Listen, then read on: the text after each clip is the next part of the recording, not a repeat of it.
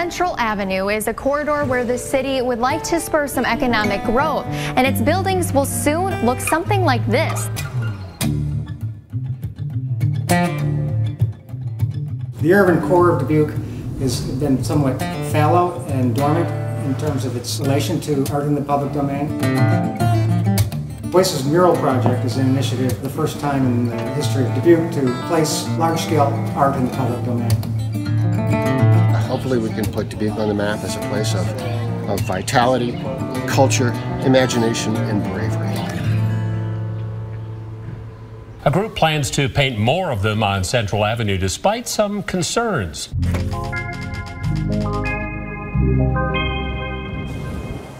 The historic buildings are a treasure in this neighborhood.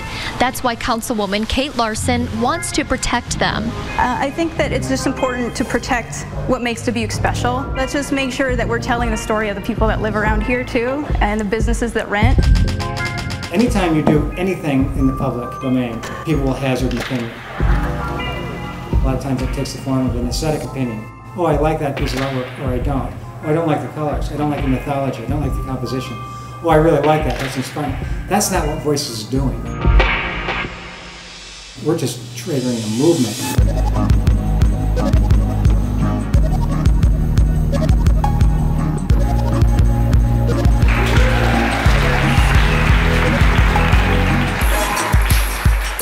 Anybody that had enough interest in coming here today is going to be on the side of pushing art forward in their communities and bringing public art onto the streets and being brave about getting out there and changing the vibe in your community so people will want to stay. So new people will want to come in and say, that place is cool. I want to be there. I want to be in that community. This is Dubuque, Iowa. And we're going to change it right here, right now, with your assistance and your bravery and your love and your attention and your passion to the work and each other.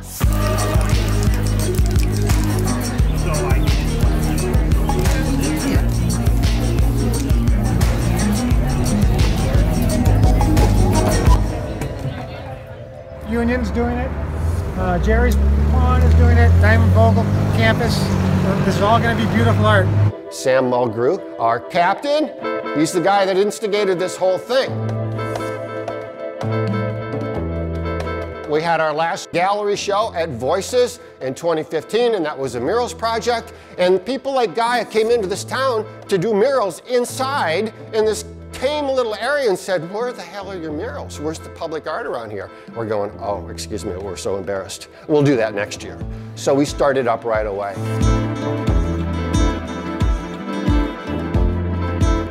We started in the downtown historical corridor, the Bang. This year, phase two, in my opinion, was enrollment, consensus building, empowering local people and the creative class. And we are very, very fortunate to have him because uh, he's the real deal. May I this Guy?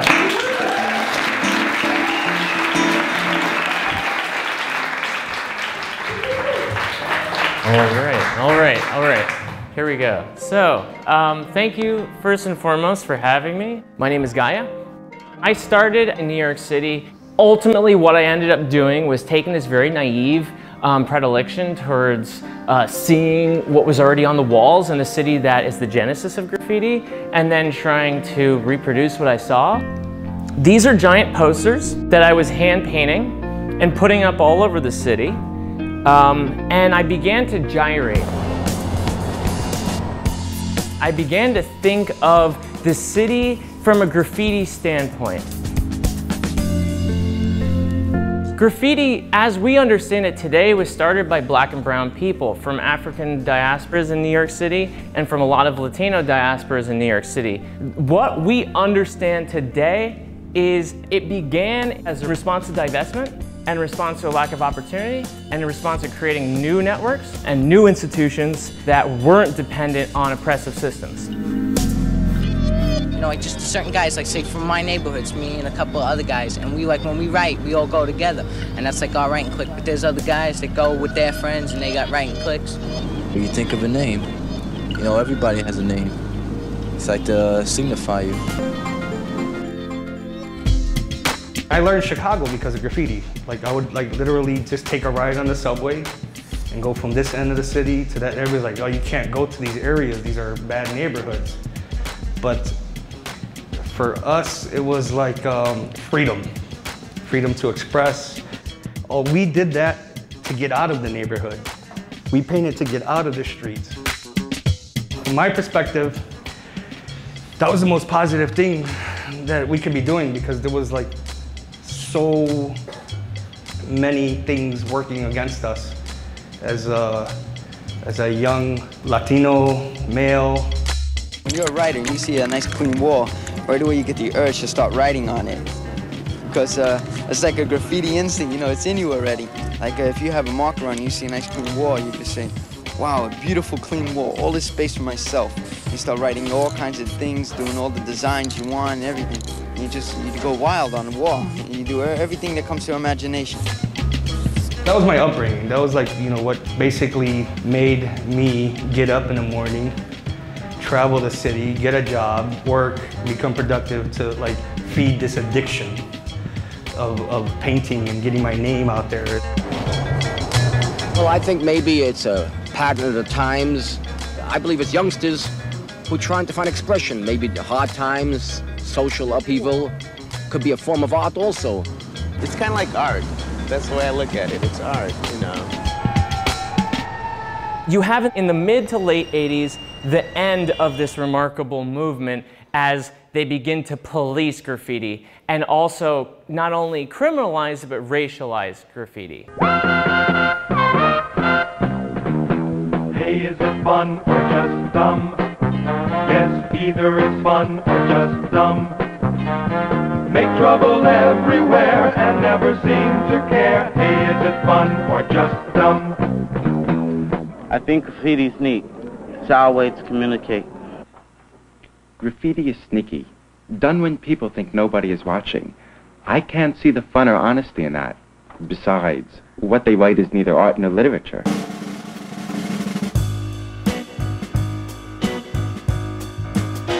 In the early 80s, it was like um, the worst thing. Even the gangs hated us. The, the school, the, the police, the city, everybody was against us. We have a special graffiti squad uh, consisting of a sergeant and about a dozen men who are particularly knowledgeable in the workings of the graffitiists and the identification of them.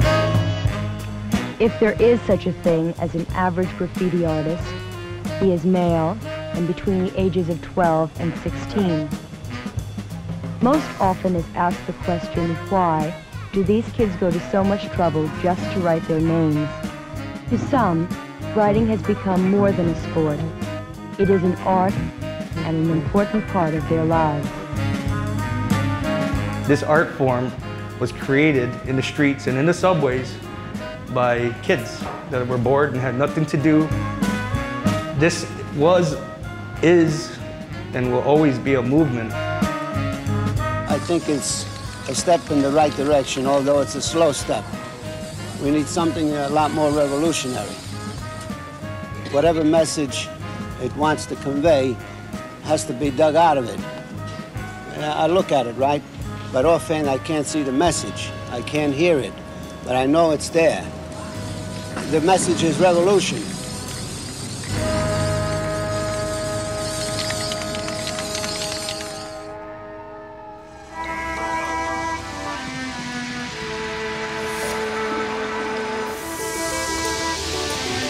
So we've got it all good to go.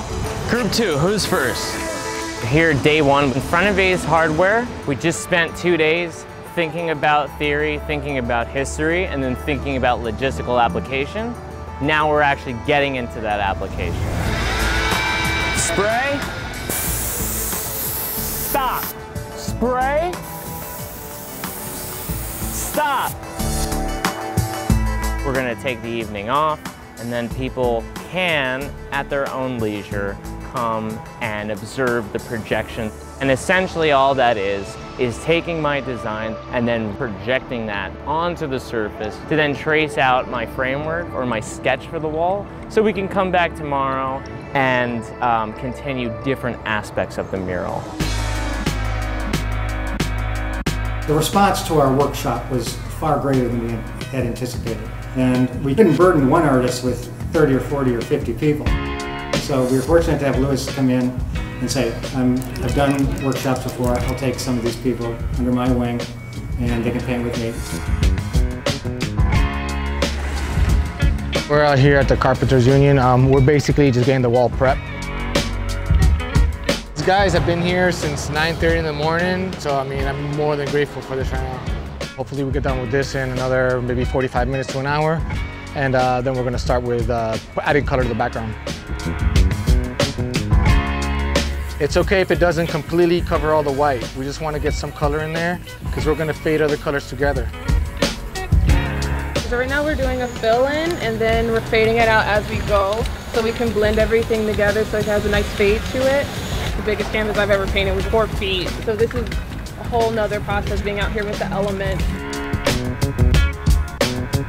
I was just cruising along and saw the project and had a couple questions about it and then I was asked if I wanted to get on board with it. So it's a good way to get the community to come together and good group effort.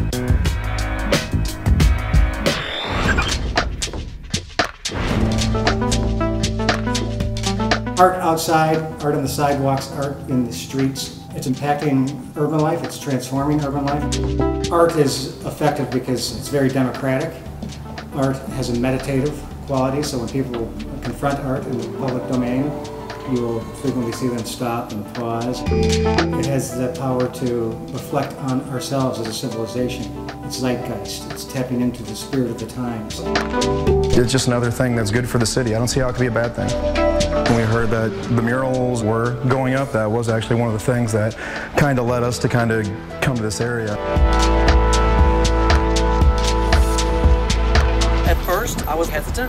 Because, you know, you hear a lot of negative, like, you know, defacing historical buildings, and I kind of watched it myself. And I love that it brings people downtown. And whatever you can do to start a conversation or livening up your downtown, it's a positive thing. They're, they're part of the community now. You had, if they were gone, it'd be kind of sad. So this is what they've been doing in downtown Dubuque. Check it out. This one is really cool. I had no idea what Voices was until I got here. And it was like, oh, this artwork. And I was like, whoa. And to be the first ones, it blew my mind. I'm more welcome in this town than I am in my own city.